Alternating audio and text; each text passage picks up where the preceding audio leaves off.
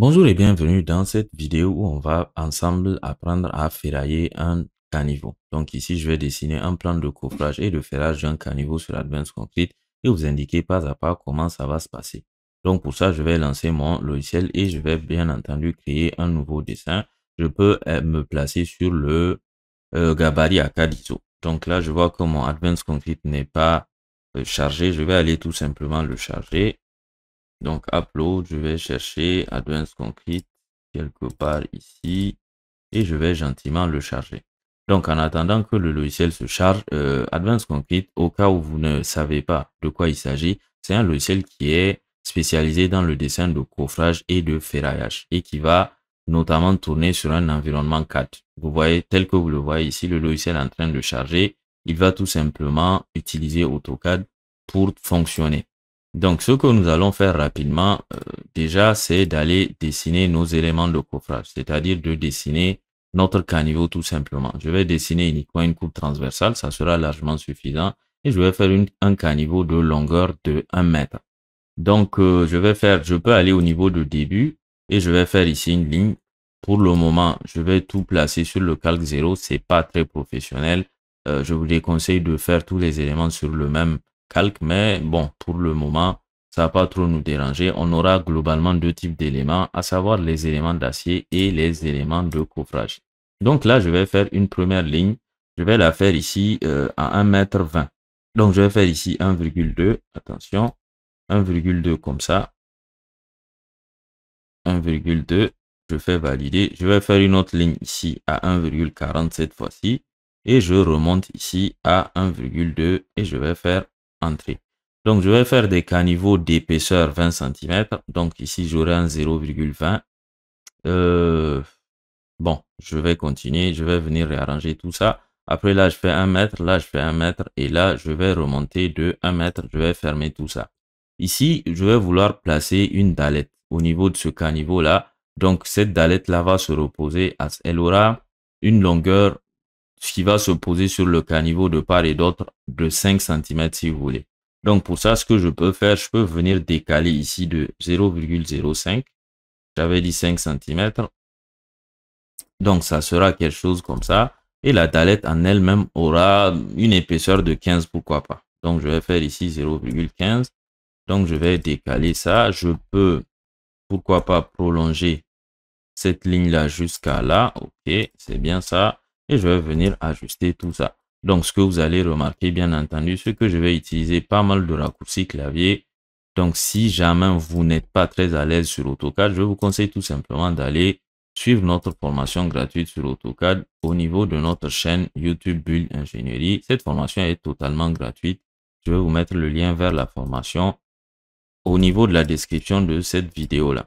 Donc là, j'ai rapidement créé le plan de coffrage de mon caniveau.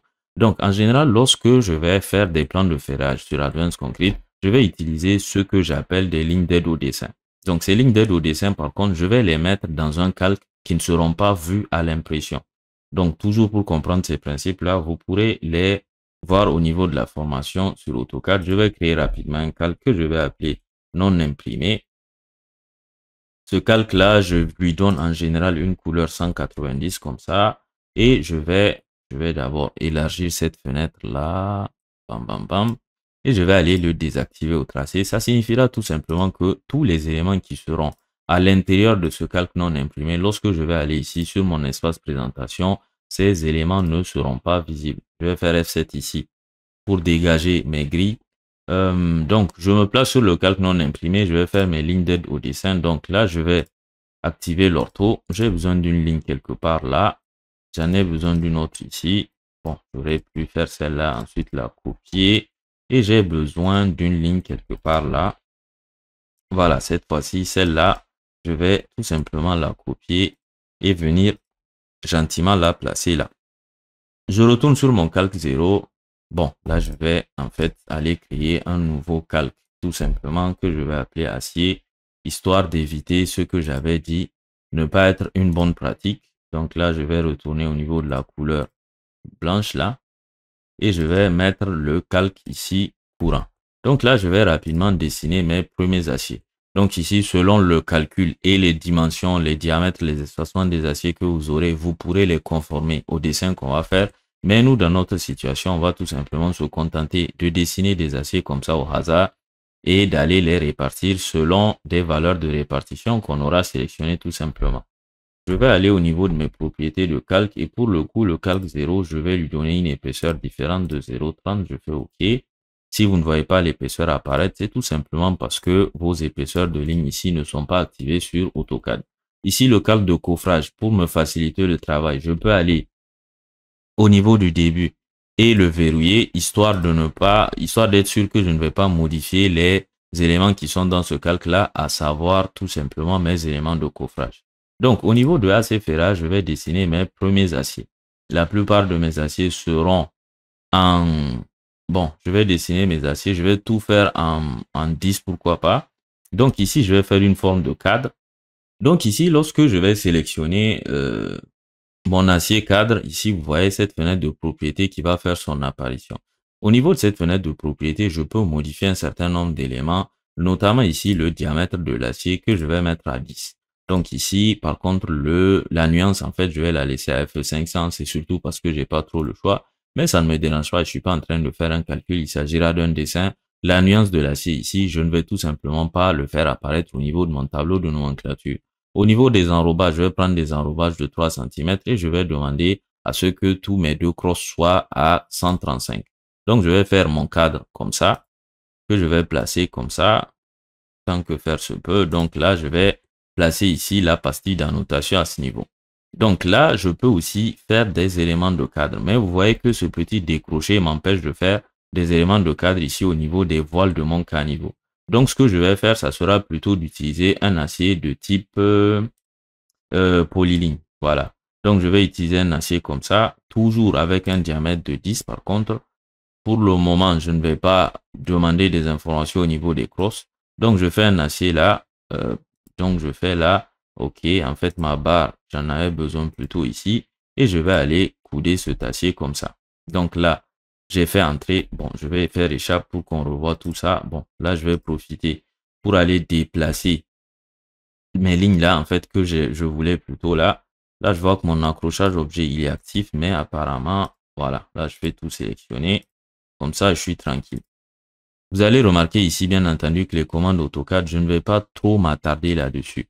Euh, c'est tout simplement parce que pour faire ce genre d'éléments-là, il est indispensable d'avoir des bases sur AutoCAD. Si vous n'avez pas de base sur AutoCAD, je vais bien entendu vous mettre une formation de 10 heures que vous pourrez suivre tranquillement afin de maîtriser tous ces principes. Donc, je vais sélectionner ma barre de type polyline.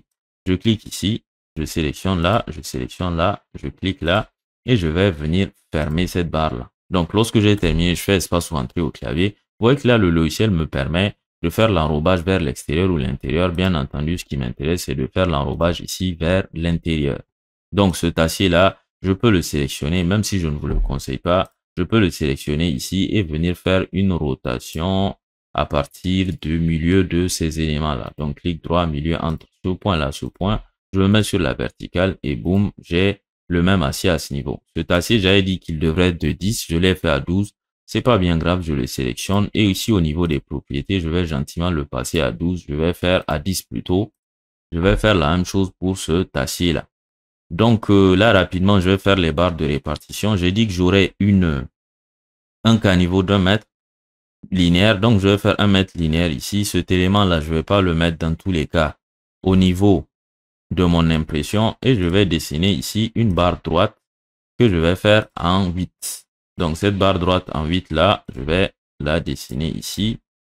Euh, je peux même d'ailleurs ne pas lui donner d'enrobage pour que j'ai les 1 mètre pile à ce niveau. Donc je vais faire 0. Au niveau de tous les enrobages, je vais demander à avoir 0. Ce qui va me donner une barre 8 de longueur 1 mètre. Donc là, j'ai fini avec le dessin des aciers. Je vais passer à leur répartition.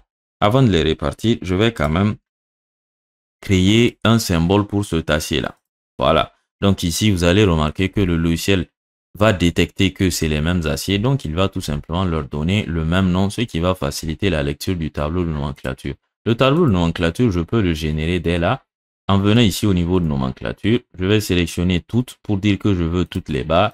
Je sélectionne ici toutes les barres, je fais entrer et je dépose ce tableau-là gentiment ici. Ce que vous allez remarquer, c'est que ces barres-là, elles sont là, elles existent, mais au niveau des quantités, vous avez zéro parce que tout simplement, on ne les a pas encore réparties. Je vais commencer à répartir les barres de 1 à, de 1 vers 3, tout simplement. Je vais commencer par cette barre-là. Pour la répartir, c'est simple. Je vais faire ici répartition linéaire. Je sélectionne la barre. Ici, vu que je ne vais faire apparaître que la vue en plan. Autrement dit, euh, vu que je ne vais faire apparaître que la coupe. Donc ici, cette cette barre que vous êtes en train de le voir, cette représentation ne sera pas représentée ou en tout cas ne sera pas au niveau de la présentation. Donc je vais sélectionner la barre, je vais faire un espacement de 20, c'est pas bien grave et je vais venir répartir cette barre là suivant ici les 1 mètre. Donc ce que je vais faire ici, ça ne sera pas imprimé donc c'est pas bien grave même si c'est un peu du grand n'importe quoi. Ce tableau tel que vous êtes en train de le voir, à partir du moment où j'ai apporté des modifications sur les barres du tableau, ici en l'occurrence la barre 1, ce tableau-là, il sera un peu barré pour m'indiquer tout simplement qu'il a besoin d'être mis à jour. Pour ça, je le sélectionne et je clique ici sur mise à jour. Vous voyez ici qu'au niveau de l'acier 1, je n'ai plus 0 éléments, j'ai 6 éléments. Et ici, j'ai des poids, euh, des longueurs totales et des poids totales qui sont liés tout simplement au nombre que j'ai à ce niveau-là.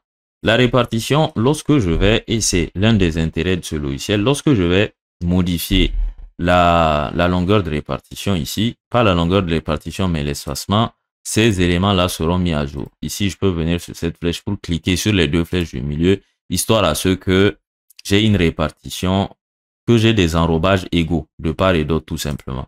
Vous voyez ici que j'ai un enrobage de 0,1, 0,05 et 0,05.